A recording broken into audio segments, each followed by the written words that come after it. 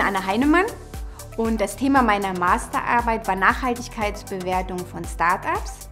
Chancen und Nutzen der Dienstback 90051 aus Perspektive der Startups.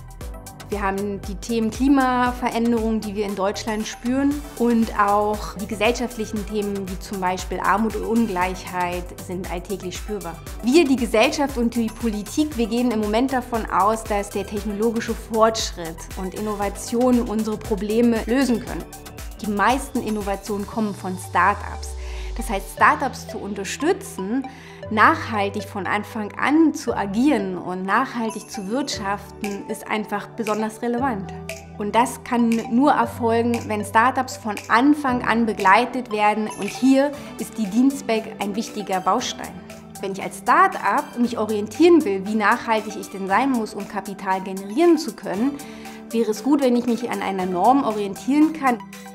Das Ziel war, Handlungsempfehlungen zu formulieren, den Startups zu unterstützen, eben besser und nachhaltiger zu werden und sich mit dem Nachhaltigkeitsthema zu beschäftigen.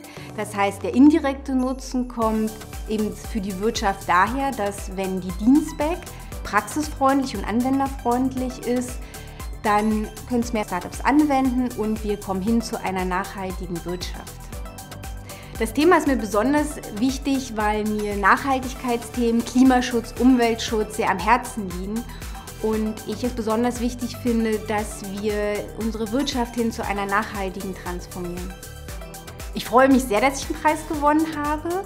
Zum einen, weil das Thema damit in die Öffentlichkeit rückt und äh, ich hoffe, dass daraus resultiert, dass mehr Startups und mehr Kapitalgebende in Zukunft die Dienstback nutzen werden.